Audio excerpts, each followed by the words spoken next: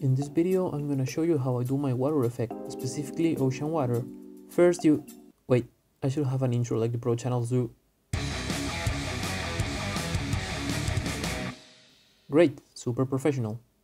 We start by getting a round tip knife or a spoon and we heat it up using a candle. I recommend the knife because heating up a spoon will make you look like a drug addict. Pressing the knife against the foam and drag it, like if you were spreading some weird blue Nutella, or if you're an American, peanut butter. Try not to leave obvious patterns or imprints. Then we change the camera angle to somewhere nicer looking and regret we didn't start recording from that angle in the first place.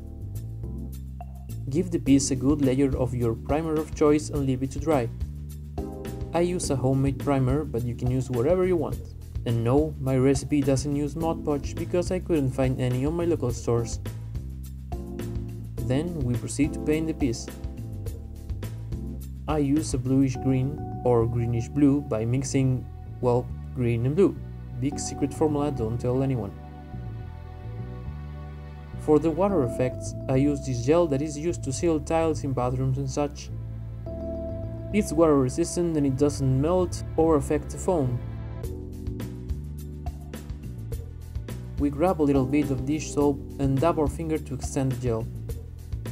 If you notice that the piece looks glossy on the video, it's because I did not hit the record button when I applied the gel the first time, so I had to apply it again just to show you. I'm a genius, get used to it. After a couple hours, or when you see it's dry enough, add little blobs of gel to the peaks of the waves, and maybe some more little random ones. Don't overdo it or it will look like a residue spillage, unless you want to do one of those.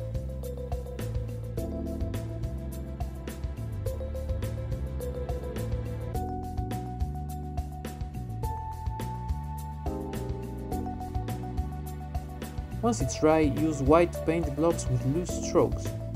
Add some dots of white to represent little pieces of foam. Look at ocean images for reference.